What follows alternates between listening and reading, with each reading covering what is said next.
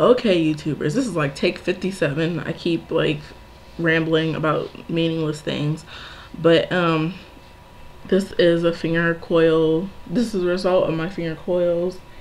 Um, ooh, didn't mean to do that. Here's a close up.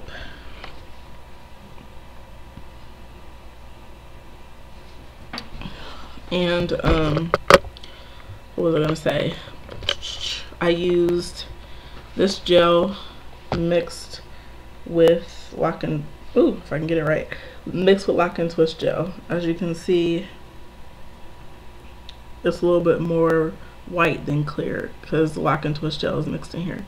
And it came out good. I have lots of shine in it. Even though I did spray some oil in it um, there's lots of shine with this. Um what else? I'm kind of like high ooh I don't want to flash you um, what else was I gonna say? Oh, I'm going to take these out because I want my hair to be big and bushy. I want it to be like out here. So it's still wet in the middle and on the sides is dry. So I like this style. I'm hoping I can keep this in for a few days. So we'll see. Like my little waves in the front.